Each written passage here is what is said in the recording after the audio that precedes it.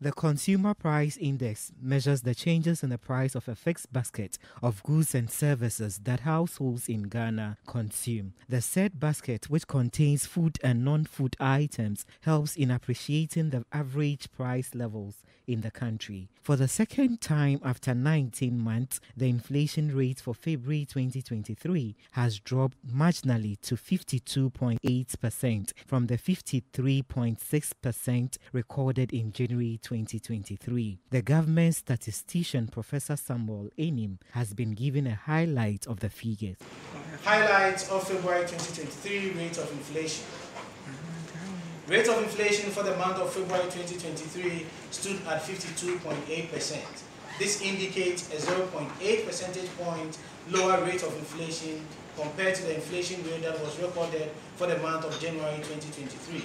In January 2023, rate of inflation stood at 53.6% relative to 52.8% for the month of February 2023.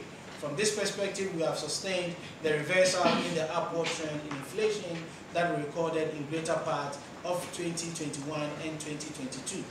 From a regional perspective, for the first time, we are seeing Western North recording the highest rate of inflation of 63.6%, and also for the first time, seeing Western North recording the highest food inflation of 77.3%.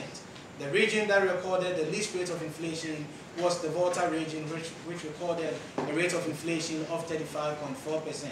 Given these two rates of inflation between Western North and Volta region, the difference is about 1.8 times the region with the highest rate of inflation relative to the region with the least rate of inflation.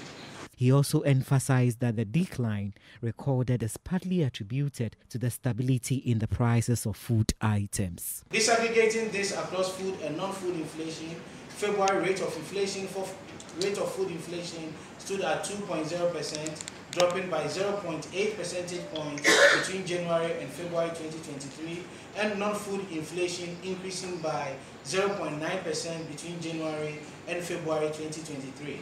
Specifically with February 2023, non-food inflation on a month-on-month -month basis, 1.7%. So the reduction that we are recording, it's driven relatively more by the stability that we are seeing from a food perspective relative to a non-food perspective.